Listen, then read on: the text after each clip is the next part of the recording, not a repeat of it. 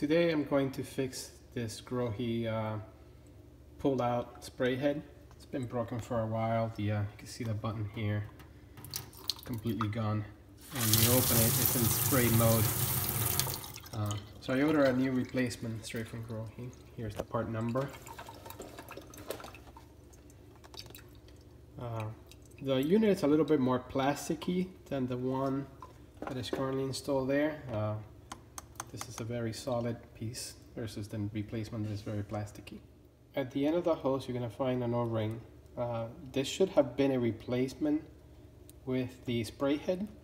Uh, it's supposed to come with it, mine did not, so I'm just going to leave this one here and I have Grohe send me a replacement. If you do get any water coming out of the top of the uh, head, that's exactly why, because this O-ring has been damaged or is missing.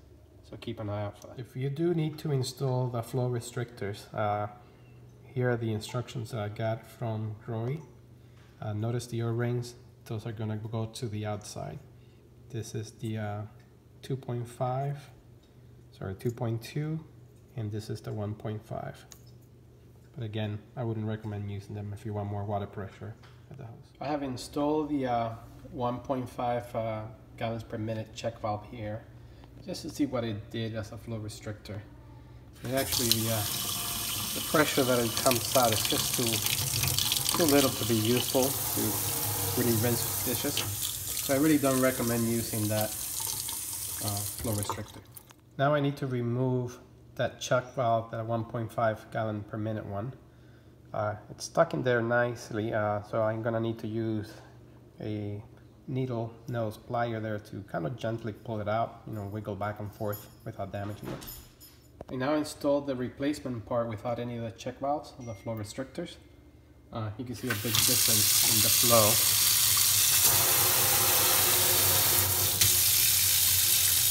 So it's definitely much better without any of those type of restrictors. And uh, here's the old unit. Uh, at one point, you may want to uh, open up and clean the aerator that's in here. Uh, this fits a, I think, 1164th socket wrench. I just happen to have the pliers, so I'm going to be very careful not to scrape it, but you can use the pliers and kind of open it and look what's inside and clean that up. I'll show you what that looks like. So with the pliers, I just uh, was able to unscrew that, and you can do hand, hand unscrewing after that. And you can see here the aerator is quite filthy, hasn't been cleaned in a while.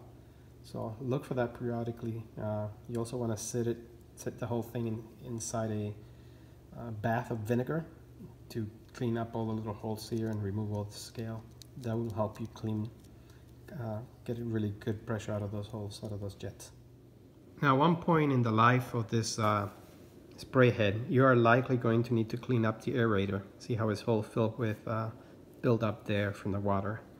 Uh, once you've removed the cover, the aerator is right here. You just use a needle nose pliers to kind of remove this piece if it's stuck. You just pull it out.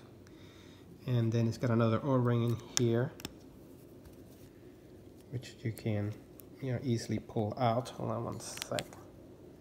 Now you pull it out. And now you have the aerator there. You can just push from the back and this is your aerator. Uh, needs to be cleaned up periodically in order to work well. Again, you know, if you put it in a vinegar bath, water and vinegar bath overnight, a lot of this scaling will go away. If not, you're gonna have to replace this whole piece.